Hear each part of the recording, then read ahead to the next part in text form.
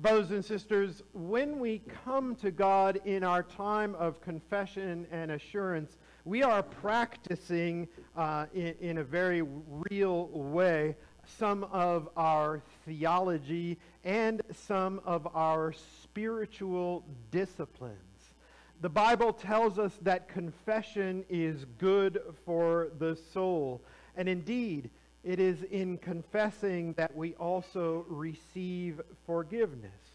But the Bible also teaches us that quiet, quiet contemplation is absolutely essential to the Christian life. And that is why often we take time to be silent during our time of confession. We take time to quiet our minds and to open our hearts to what the Holy Spirit may point out to us.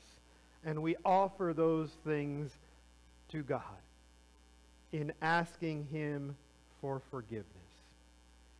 And so we would invite you this morning as you watch the video for this song and, and see the lyrics that are presented to quietly contemplate what God may be saying to you in the words and the music that are here.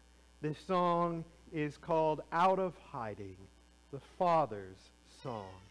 And so listen to the words that God says to you.